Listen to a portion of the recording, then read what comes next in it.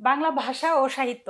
আমাদের যারা আমরা বিসিএস পরীক্ষার্থী, পাশাপাশি যারা আমরা অন্য অন্য জব বিশেষ করে ব্যাংক কিংবা হচ্ছে প্রাইমারি হতে পারে, অন্যান্য যে কোনো জবের জন্য বাংলা সাহিত্য এবং ভাষা, এটা হচ্ছে সবচেয়ে গুরুত্বপূর্ণ একটা সাবজেক্ট এটা কোনো পরীক্ষাতেই বাদ দেওয়ার কোনো সুযোগ আমাদের থাকে না। তো এজন্য বাংলা আবার হচ্ছে আমি যদি আমাদের বিসিএসসি সিলেবাসের দিকে তাকাই, তাহলে আমাদের প্রিলিমিনারিতে মোট হচ্ছে পঁয়ত্রিশ মার্ক আমাদের তার মধ্যে ভাষা থেকে আসে পনেরো, সাহিত্য থেকে বিশ। সাহিত্যের আবার দুইটা পার্ট, একটা হচ্ছে প্রাচীন ও মধ্যযুগে পাঁচ, আধুনিক যুগে পনেরো।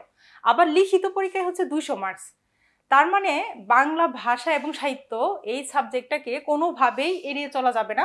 যার জন্য প্রথম থেকেই যদি এটাকে আমরা একটু গুছিয়ে এবং কিছু ভালো বইয়ের কালেকশন সংগ্রহ করে পড়াশোনা করতে পারি, তাহলে বাংলাতে আমাদের একটা ভালো একটা দখল থাকবে। বাংলাতে আমরা একটা ভালো করার একটা সম্ভাবনা থাকবে এবং প্রিলিমিনারিতে পঁয়ত্রিশ, এটা যদি আমরা ভালো করতে পারি, পাশাপাশি লিখিততে দুশো মার্কস এখানে যদি ভালো করতে পারি, তাহলে দেখা গেল যে ওভারঅল আপনার বিসিএস কিংবা অন্যান্য জব পাওয়ার যে সুযোগ বা অপরচুনিটি সেটার বা সম্ভাবনা প্রবাবিলিটি সেটা অনেকটাই বেড়ে যাবে।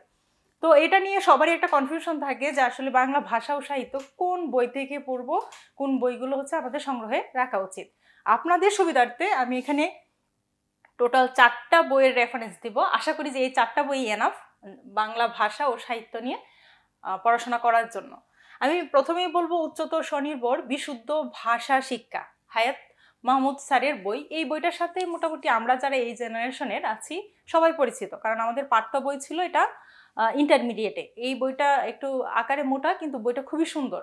এবং অনেক গোছানো এবং ইনফরমেটিভ একটা বই। এই বইটা মোটামুটি সবাই আমরা ইন্টারমিডিয়েটে পড়েছি। কিন্তু ইন্টারমিডিয়েটের পড়ার পর এই বইয়ের সাথে আমাদের কারও কোনো যোগাযোগ থাকে না।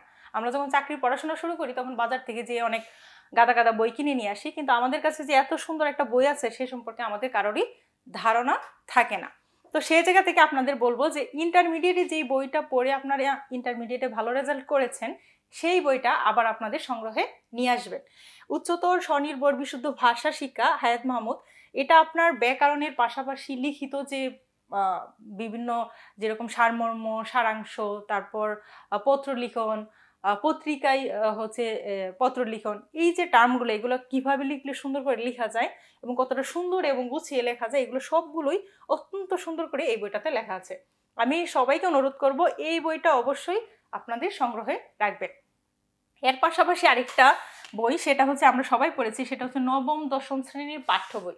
এটা তো অবশ্যই সবাই আমরা পরিচিত নবম দশম শ্রেণির পাঠ্য বই বলতে আমি ব্যাকরণ প্লাস আমাদের যে সাহিত্যের যে বই, আমি দুইটাকেই বোঝাচ্ছি। শুধু ব্যাকরণ বোঝাচ্ছি না, আমরা ব্যাকরণ বইটা রাখব আমাদের পাশে নবম দশম শ্রেণি। এর পাশাপাশি আমাদের যে পাঠ্য বই, পাঠ্য বইটাও অবশ্যই রাখব, কারণ এখানে আমাদের গুরুত্বপূর্ণ কিছু সাহিত্যিকের, সাহিত্যের অংশ দেওয়া আছে, যেটা আমাদের আমি মনে করি যে এটা পড়লেও আমাদের অনেক কাজে আসবে। যেহেতু আমাদের লিখিততে একটা একটা পার্ট আছে, সেটা হচ্ছে লিটারেচার থেকে আমাদের তিরিশ মার্কসের একটা পরীক্ষা দিতে হয়। এর পাশাপাশি বিভিন্ন সাহিত্যিকের সাহিত্য সম্পর্কে হচ্ছে আমাদের প্রিলিমিনারিতে জানতে হয়, যেখান থেকে প্রশ্ন আসে।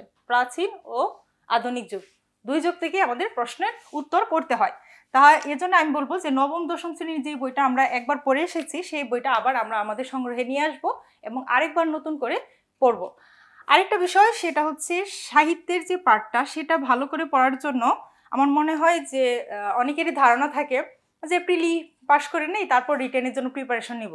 কিন্তু আসলে ওইটা হয় না। যারা বুদ্ধিমান, তারা শুরু থেকেই প্রিলি এবং রিটেন একসাথে শুরু করে এবং তারা এমন একটা বুক লিস্ট চয়েস করে যেটা পড়লে তাদের প্রিলি এবং রিটেন দুই জায়গায় কাজে লাগবে। তারা বোকামি করে আলাদা আলাদা বই পড়ে না। প্রিলির জন্য একটা বই কিংবা রিটেনের জন্য আলাদা বই পড়ে না। তো আমি আপনাদের এই সুবিধার্থেই এইখানে চারটা বুক লিস্ট দিছি। তার মধ্যে আরেকটা বই হচ্ছে বাংলা সাহিত্যের ইতিহাস। মাহবুবুল আলম স্যারের লেখা একটা বই। এই বইটা যদি কেউ প্রথম থেকে শেষ পর্যন্ত সুন্দর করে পড়তে পারে, তাহলে আমি আশা করি তার বাংলা সাহিত্য নিয়ে কোনো প্যারেশানি হওয়ার কোনো অপশনই থাকবে না। সে বাংলা সাহিত্যে খুব ভালো একটা মার্কস তুলতে পারবে। এর পাশাপাশি আরেকটা বই আছে, সেটা হচ্ছে বাংলা গৃহশিক্ষক সাহিত্যের জন্য মুস্তাফিজুর রহমান স্যারের লেখা। এই বইটাও ভালো। আমার মনে হয় এই চারটা বই প্রত্যেকটা স্টুডেন্টের মানে যারা চাকরি প্রত্যাশী, শুধু বিসিএস প্রত্যাশী না, চাকরি প্রত্যাশী সবারই রাখা উচিত। এই চারটা বই যদি কেউ পড়তে পারে, তাহলে আমার মনে হয় যে তার জন্য প্রিলিমিনারির পঁয়ত্রিশ এবং লিখিতর দুশো মার্ক পাশাপাশি অন্যান্য চাকরির যে মার্কসগুলো বাংলার জন্য বরাদ্দ থাকে, সব জায়গায় সে ভালো করতে পারবে। আশা করি আপনারা এই বইগুলো হচ্ছে আপনারা ফলো করবেন এবং আপনাদের যে প্রত্যাশিত যে চাকরি, সেটাতে আপনারা আপনাদের প্রত্যাশা পূরণ করবেন। আল্লাহ হাফেজ।